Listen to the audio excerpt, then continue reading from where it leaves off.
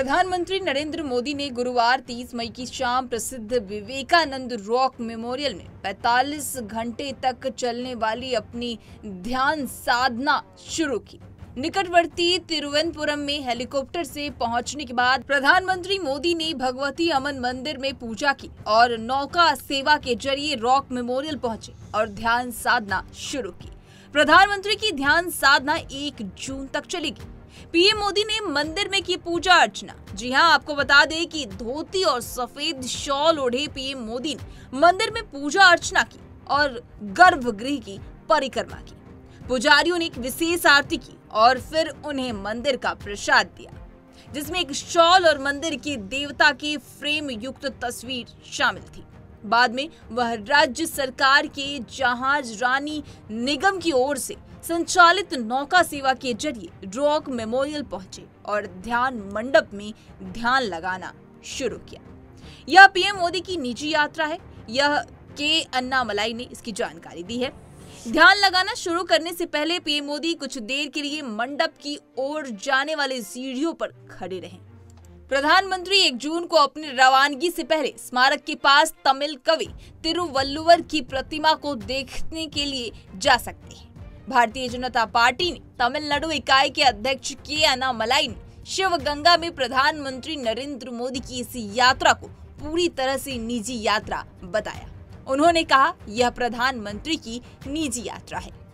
उन्होंने कहा कि यही कारण है कि उनकी पार्टी के नेताओं और कार्यकर्ताओं ने इस कार्यक्रम में भाग नहीं लिया, जहाँ एक और थानथाई, पेरियार, दविद्र, कसगम सहित अन्य संगठनों ने मदुरई में मोदी के विरोध में काले झंडे दिखाए तो वहीं दूसरी ओर सोशल मीडिया मंच एक्स पर लोगों ने गो बैक मोदी का भी बात सामने आ रहा है।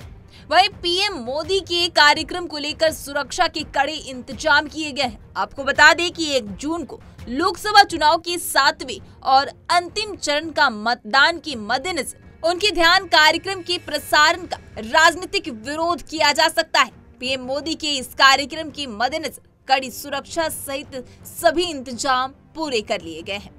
प्रख्यात हिंदू संत विवेकानंद के नाम पर बना यह स्मारक समुद्र के मध्य में स्थित है।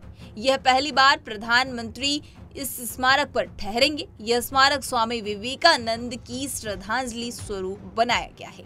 प्रधानमंत्री ने 2019 के लोकसभा चुनाव में प्रचार समाप्त होने के बाद केदारनाथ गुफा में भी इसी तरह ध्यान लगाया था। पीएम मोदी की यात्रा से पहले सुरक्षा बढ़ा दी गई।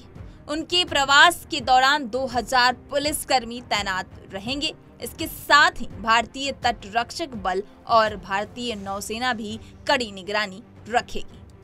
इसी के साथ आगे बात करते हैं कि 45 घंटे तक पीएम मोदी कैसे रहेंगे, इसके बारे में भी चर्चा करेंगे।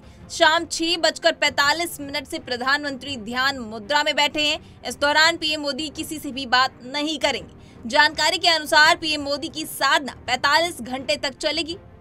इस 45 घंटे की कठोर ध्यान में ना तो वो अन्न ग्रहण करेंगे, ना ही किसी से बात करेंगे। कठोर साधना में प्रधानमंत्री ज़रूरत पड़ने पर केवल नींबू पानी का सेवन करेंगे। वह सिर्फ़ तरल आहार ही लेने वाले हैं। शरीर को हाइड्रेट रखने के लिए वह नारियल पानी और अंगूर का जूस भी पिएँगे।